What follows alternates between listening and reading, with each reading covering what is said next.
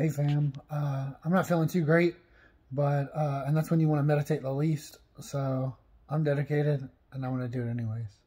Go ahead and sit in a comfortable position. This meditation is really good if you're not feeling well.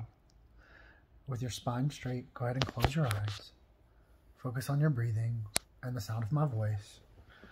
In this moment, you are surrounded by white light, healing white light. We ask Archangel Raphael to join us now and Jesus Sananda. Jesus Sananda surrounds our aura in unconditional pink light. Raphael surrounds us in green healing light, both of them from the front and the back, radiating our being, helping us to heal, for all healing is an inside job.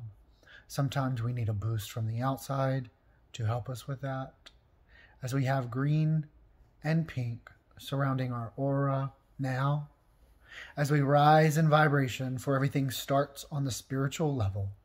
So when I have physical ailments, it may have started on the spiritual plane. In this moment, all is forgiven from my human experience. All is centered now on this moment as I am surrounded in pink and green. Healing light as I breathe it in, and the flecks of diamond colored green and pink throughout all of my being, raising my vibration, helping me to reach my highest good. May you feel better, well, and happy. Namaste.